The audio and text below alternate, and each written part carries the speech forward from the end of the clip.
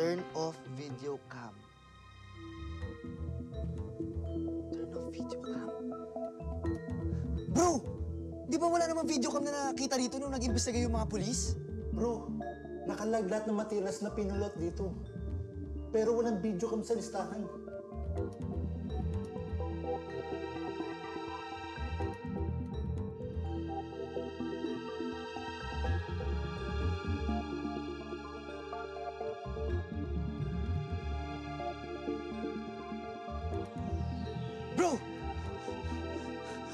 Bro, yung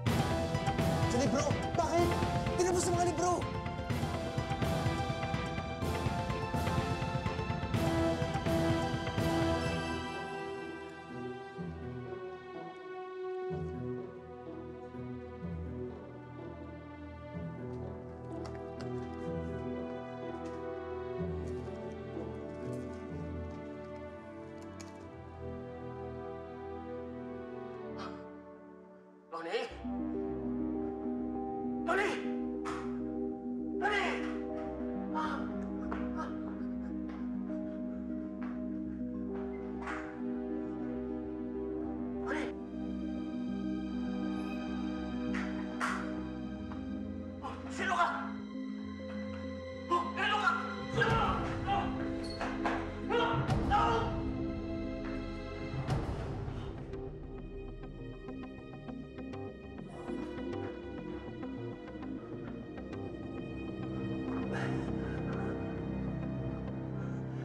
Pumasok na lalaki.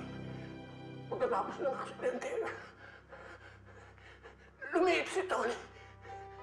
Kinuha na lalaki yung shrinking formula. Pati yung batch na nakareserve, kinuha. Kinuha rin. Ah, tinatap ko itong video cam para sakali. Ito sa mga Kalaro ko ng bata ako.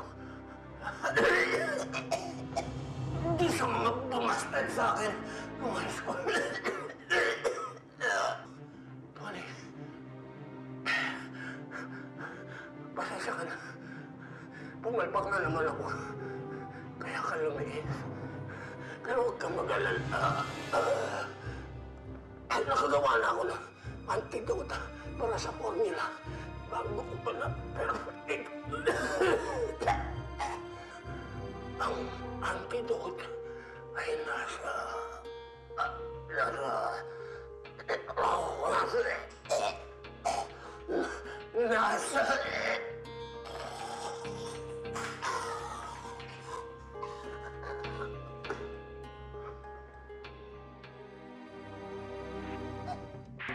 yes, yes, uh, this is Jumbo, Jumbo. Uh, what can I do for you, sir? Hoy, Madrigal, kung ano-ano na naman pinaggagawa mo dyan. May reported smuggling ng mga computer sa Quadermos compound. Malapit lang yun dyan sa inyo. Puntahan mo na and make your station proud. Over and out. Madadala lang ako ng backup. Uh, uh, okay, sir. Copy, copy. Right away, sir. Bro, tara. Tuduresyo tayo. Teka, eh, eh mapapalit muna ako. Oh, ah, ah, ah! Sige po namin itin. Lola, ayos po kami.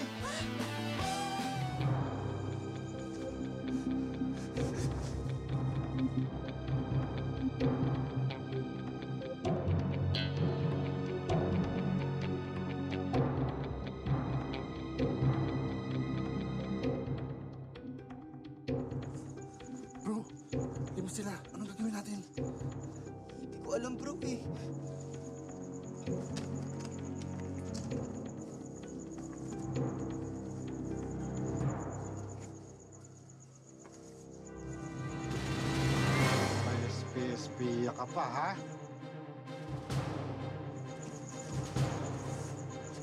Tayo tayo, bro. Anong gagawin natin? Alam ko na. Gulatin na lang natin.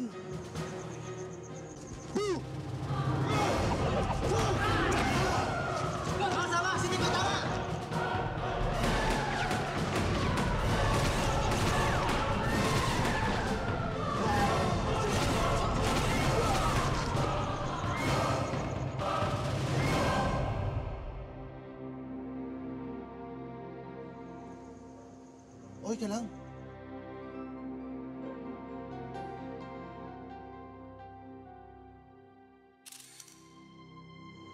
Sino ka?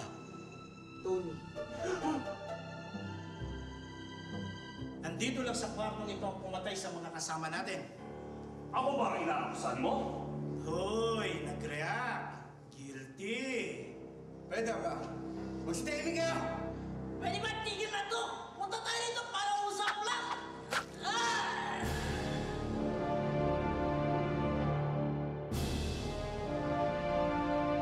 Anak,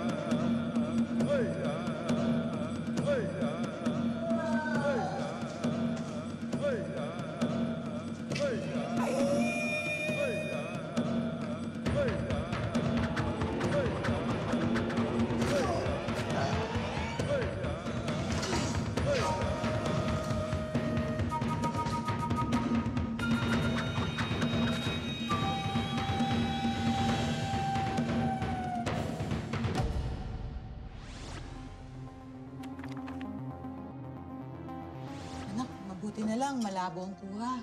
Hindi nakita yung mukha mo. Eh, Nay, ayoko talaga yung pangalan sa unahan eh. Ayoko nang may tiny. Anak, tandaan mo, ang isang milyon nanggagaling pa rin sa piso. Nay, ano naman ang koneksyon nun?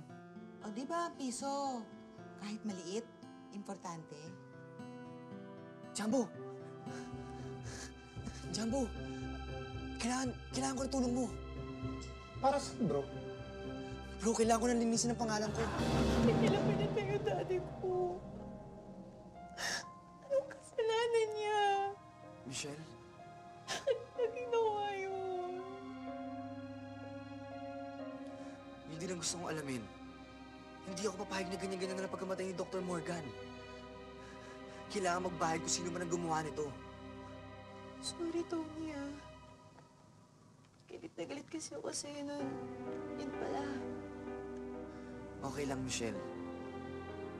Natural lang na naman na yan ang mararamdaman mo eh. Pero ang importante sa akin, ikaw, ikaw ang mahalaga. Ngayon at least alam na natin, alam mo na kung ano talaga ang totoong nangyari. Balang araw, Michelle, nilinisin ko rin ang pagkatao ko sa lahat ng mata ng mga tao. Lahat kaibigan. Wala namang kaaway yun eh.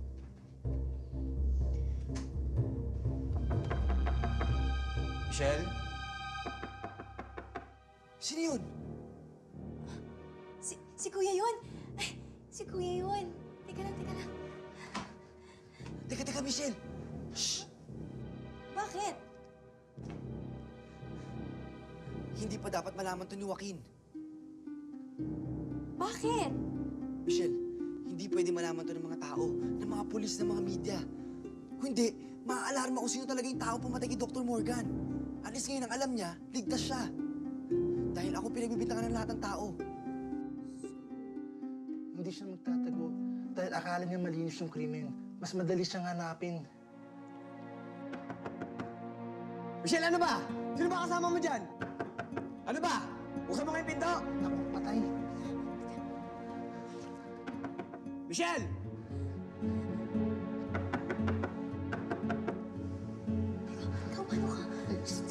Pwede Tony din. Michelle! Ah! Kuya? Ah, kuya, naliligo lang ako. Ah, bakit? Wala. Nag-alala lang ako. Baka mamaya may ibang tao nakapasok dito eh. Ah, wala! Baka guni-guni mo lang yun. Bakit bukas ang bintana mo? Di ba sinabi ko yung wag na wag mo itong iiwan na bukas? Baka nakalimutan mo hanggang ngayon at large pa rin si Tony. Okay, kuya. Sorry. O, sige na. Papahinga na rin ako.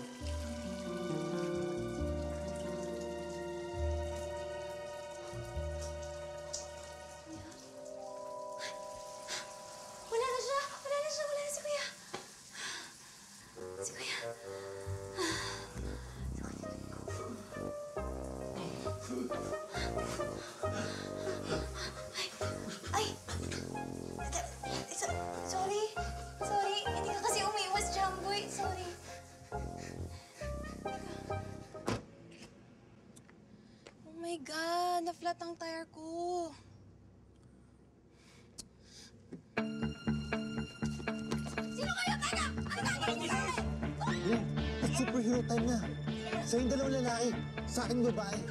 Kaya-kaya niyan. Teka, teka, teka, teka! Tsaka bakit naman ako hindi ko naman... Dito,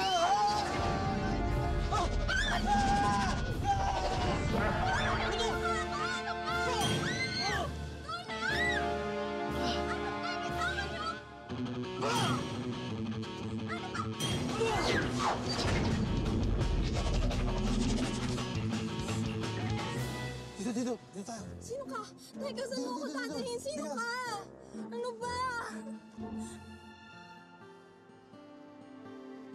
Ligtas ka na. Salamat. Ikaw. Ikaw ang nagligtas sa akin. Ako? Ah,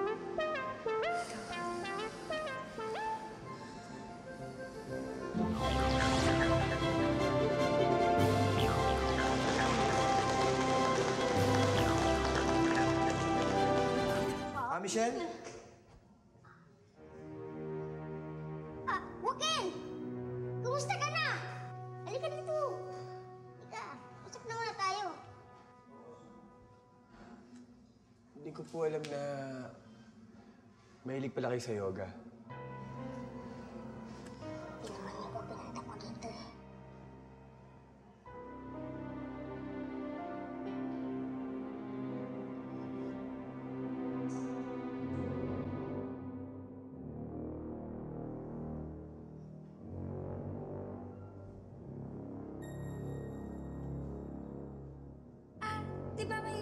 Pupuntahan tayo? Oo. Di ba? Oo.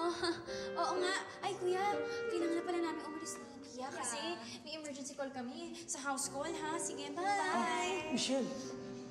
Ah, Michelle?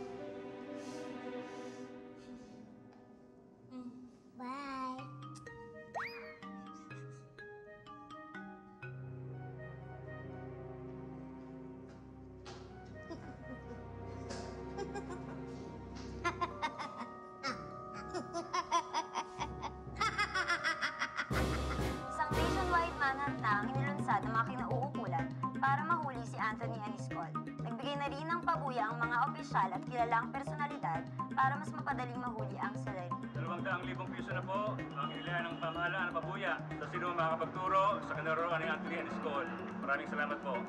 Masakit po para sa akin dahil personal ko pong kaibigan si Dr. Morgan. Malapit po ako sa anak niyang si Joaquin at special salmon ko naman po ang kanyang anak na bunso na si Michelle. Baby. Dadagdagan ko ng 800,000 pesos ang pabuya. Mahuli lamang si Anscol.